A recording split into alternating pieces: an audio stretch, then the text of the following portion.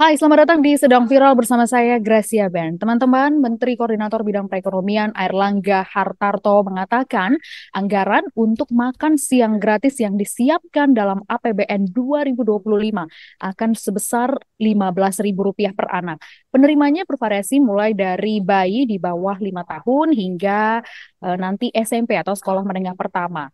Pemberian makan siang ini akan diberikan ke seluruh daerah di Indonesia, khususnya daerah yang memiliki angka stunting tinggi. Dan besaran harganya Rp15.000 tadi ini akan merata di seluruh wilayah Indonesia. Pertanyaannya, apakah Rp15.000 ini sudah cukup untuk bisa uh, memfasilitasi kebutuhan gizi anak-anak di Indonesia? Sebelum kita bahas biayanya, kita akan tanyakan dulu seperti apa komposisi gizi yang ideal bagi anak. Kita akan kita akan bahas bersama dengan Profesor Rini Sekartini, Guru Besar Departemen Ilmu Kesehatan Anak FKUI RSCM. Selamat siang, Prof. Apa kabar? Sehat? Alhamdulillah sehat. Baik, Prof. Langsung saja nih, Prof. Menurut Prof, gimana sebetulnya komposisi gizi yang ideal bagi anak untuk mencegah terjadinya gangguan tumbuh kembang, khususnya stunting, seperti itu? Ya, terima kasih. Jadi untuk memenuhi kebutuhan uh, dasar anak, terutama untuk asupan nutrisi, kebutuhan sebenarnya intinya sama ya, baik dari bayi, anak sekolah maupun remaja, yaitu pemenuhan karbohidrat, protein ya, vitamin mineral dan juga air. Komposisi itu uh, semua harus terpenuhi sesuai dengan kebutuhan anak. Karena masing-masing uh, kelompok usia itu kebutuhan uh, asupan nutrisinya berbeda. Biasanya kita hitung per kilogram berat badan itu berapa kalori yang diperlukan. Baru dijabarkan dalam uh, komposisi tadi karbohidrat, protein, vitamin mineral dan airnya berapa. Kalau dari Kementerian Kesehatan kan sekarang yang diusung uh, untuk uh, komposisi makanan adalah isi piringku ya. Kalau Gracia lihat isi piringku tuh sudah terlihat tuh sebenarnya komposisi apa yang paling dominan. Tetap porsi karbohidrat lebih banyak daripada protein ya, protein, vitamin dan mineral. Jadi komposisinya sama, Cuman kebutuhan perhariannya berbeda sesuai dengan kebutuhan anak. Tapi tetap harus ada uh, keseluruhan komposisi tersebut. Jangan hanya karbohidrat saja dengan uh, misalnya sayuran ya. Berarti kan nggak ada protein ya. Tetap ketiga komponen besar itu harus ada.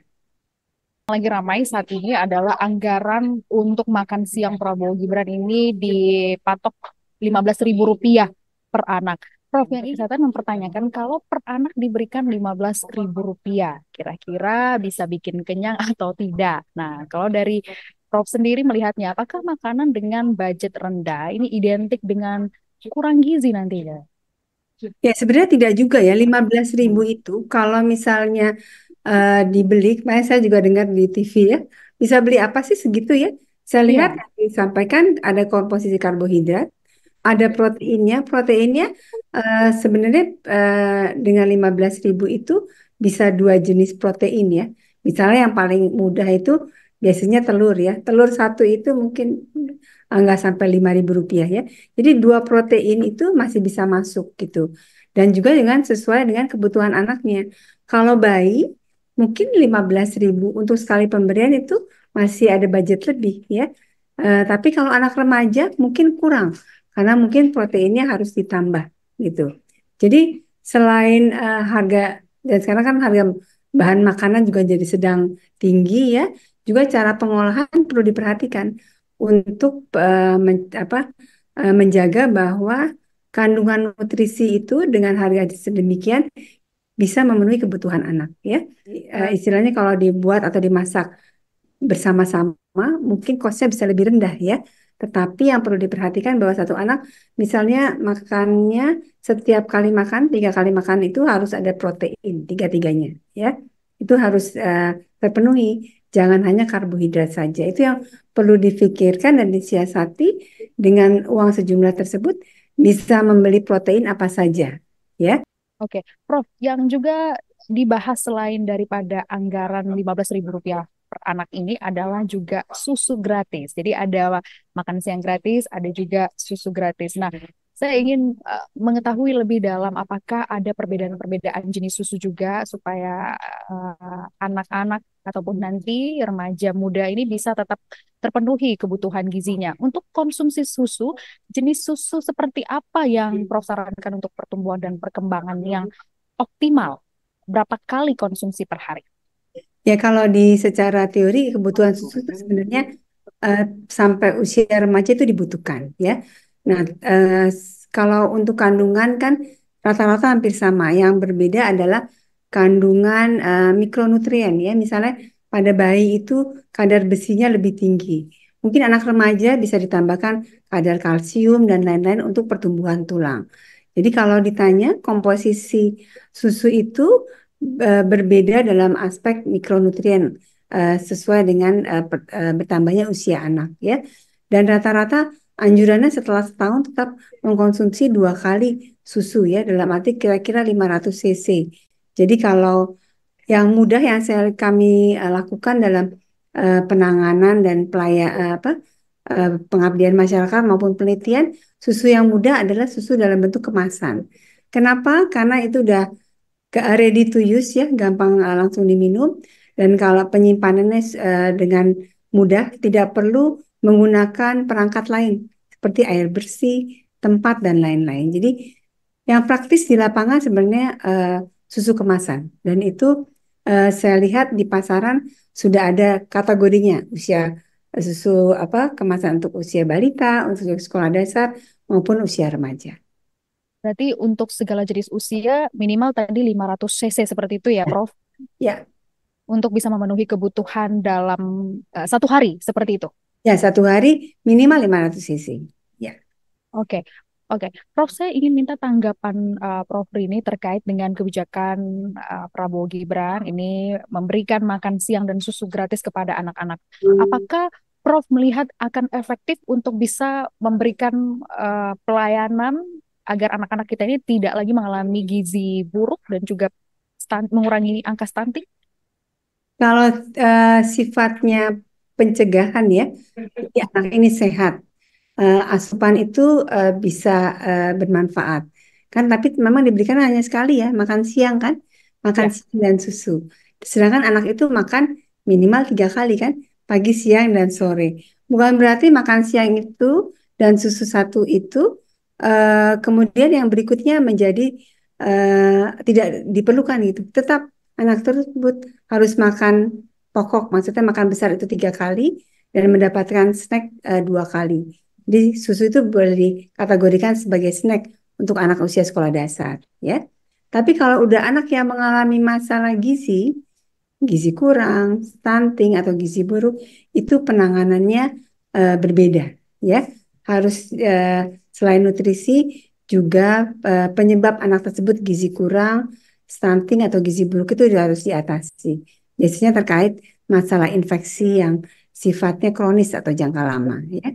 Tapi untuk pencegahan uh, masih bisa dapat digunakan. Oke, uh, dengan 15.000 tadi untuk makan siang gratisnya ini. Dengan perhitungan gizi nutrisi ada protein uh, ada proteinnya di situ dan juga beberapa tadi yang Prof sampaikan ke kita. Kira-kira bisa bikin kenyang kan nih Prof ya dengan anggarannya 15.000 per piring nih misalnya? Kalau untuk kebutuhan anak sam, uh, sampai remaja saya rasa masih bisa mencukupi ya. Uh, saya lihat kemarin uh, salah satu yang diwawancarai kan jual makanan ya Segitu ya. tuh nasinya satu porsi dia bilang, kemudian lauknya maksimal bisa dua jenis. Dua jenis itu maksudnya protein A dan B gitu ya. Telur dan ikan itu masih bisa dibeli sama satu jenis sayur.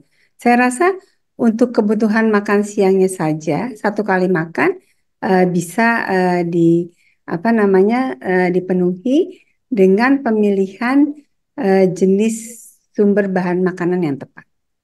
Dan oh. asalkan harga bahan makan pokoknya nggak meningkat ya. Kalau bahan makan pokoknya meningkat, yang harusnya misalnya daging dia harus makan uh, eh, 100 gram, bisa hanya 50 gram kan, nah itu tidak terpenuhi. Jadi oh. harga bahan makanan juga harus diperhatikan. Kalau budget itu menjadi suatu apa? Menjadi suatu apa limitasi gitu ya. Prof, untuk kebutuhan uh, protein mungkin seperti itu ya uh, dalam satu piring berapa kita harus dapatkan mulai dari anak-anak sampai orang dewasa. Kita batasi Prof sampai SMP. Uh, biasanya kita eh, apa eh, gunakan eh, berat badan anak ya. Oh, tergantung berat badan anaknya ya, Ya. Prof ya. Jadi Oke. kalau misalnya usia 12 tahun gitu ya, itu sekitar 50 gram per hari. Usia 12 tahun. Eh, 50 gram per hari proteinnya. Berarti kan harus ditimbang juga kan? Jadi usia balita misalnya 5 tahun gitu ya, kebutuhannya itu kira-kira 35 gram per hari. Karena eh, masing-masing berbeda gitu kebutuhan sesuai dengan usia anak gitu. Kalau bayi eh, apa sampai eh, kalau dilihat usia bayi eh, apa berbeda lagi jumlahnya.